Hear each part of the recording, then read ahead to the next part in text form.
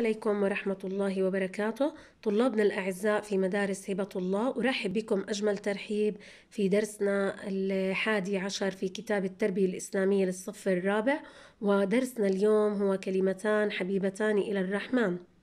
في درسنا اليوم الحديث الشريف آه، سنتعرف على بعض الأمور الخاصة بالحديث. وأهداف درسنا اليوم أولا قراءة الحديث بشكل صحيح خالي من الأخطاء. ثانيا تفسير معاني الكلمات الواردة في الحديث. ثالثا التعريف براوي الحديث. ورابعا معرفة موضوع الحديث وما يرشدنا إليه. وخامسا ذكر ثمرات الذكر. لنقرأ الحديث معا قراءة صحيحة خالية من الخطأ. قال رسول الله صلى الله عليه وسلم كلمتان حبيبتان إلى الرحمن خفيفتان على اللسان ثقيلتان في الميزان سبحان الله وبحمده سبحان الله العظيم. هذا هو حديثنا الذي سنتناوله اليوم بالشرح والتوضيح وسناتي إلى مع تعريف براوي الحديث.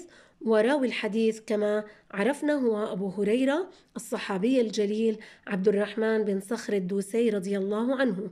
لقب بأبو هريرة أذكركم لأنه كان يربي هرة صغيرة آه، ويعتني بها فكان لقبه أبو هريرة. أما عن فضله فكان له فضل كبير حيث كان من أكثر الصحابة حفظا ورواية للحديث الشريف. تعالوا بنا نتعرف على معاني أو الكلمات الواردة في الحديث ونوضحها معا. وأول كلمة نأتي إليها اليوم هي ثقيلتان خفيفتان على اللسان أي أنهما نطقهما سهل. كلمتان خفيفتان على اللسان أي عند النطق بهما لا يشعر الإنسان لا بتعب ولا بجهد. ثقيلتان في الميزان أي أجرهما عظيم عند الله تعالى. ثقيلتان في الميزان أجرهما عظيم عند الله تعالى. سبحان الله سبحان الله هي كلمة تقال لتنزيه الله عن كل عيب ونقص والمقصود بالتنزيه أي إبعاد آه، الله عن التشبيه بمخلوقاته أو آه، أن نصفه بشيء من العيوب أو النقص الموجودة في المخلوقات. هذه آه، هذه هي معاني الكلمات الواردة في الحديث. آه، حديثنا اليوم هو جاء فيه آه، توجيه نبوي يدعونا إلى المحافظة على ذكر الله وورد في هذا الحديث ذكر الرحمن. يعني الرسول صلى الله عليه وسلم عندما قال كلمتان حبيبتان إلى الرحمن. لماذا خص ذكر الرحمن في هذا الحديث؟ نقول الرحمن لها دلالة ودلالتها أن الله سبحانه وتعالى واسع الرحمة بعباده فهو يجزيهم على العمل القليل الثواب الكثير.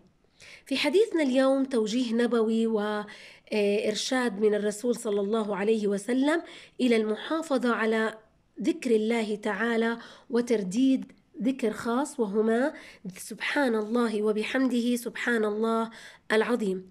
ماذا يحدث إن حافظ المسلم على هذا الذكر؟ في بذكر الله عز وجل هذا الذكر الخاص ينال المسلم الثواب العظيم والأجر الكبير ويكسب رضا الله سبحانه وتعالى لأنه ينزهه ويبعده عن التشبيه بكل مخلوق والمقصود بذلك تنزيهه عن كل عيب ونقص.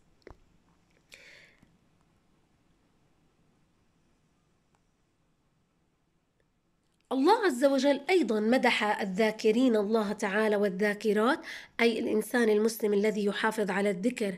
فقال تعالى بسم الله الرحمن الرحيم والذاكرين الله كثيرا والذاكرات أعد الله لهم مغفرة واجرا عظيما. في هذه الآية إشارة إلى أن الله عز وجل آه، سيغفر للذاكرين والذاكرات السيئات والذنوب التي يرتكبونها. كذلك سيعطيهم الأجر العظيم يوم القيامة.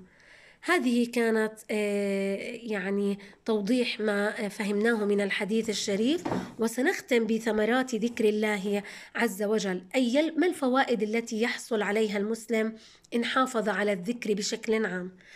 أولا راحة القلب والشعور بالطمأنينة. ثانيا الابتعاد عن الغيبة والنميمة والغيبة هي ذكر مساوئ الشيء الشخص في غير حضرته يعني من غير أن يكون موجود. أما النميمة فهي ذكر ما ليس في الشخص من المساوئ بعدم وجوده. ثالثا الفوز بمغفرة الله تعالى. رابعا كسب رضا الله تعالى. وخامسا تيسير الأمور وتفريج الكروب. هذا كان ما حمله درسنا لهذا اليوم.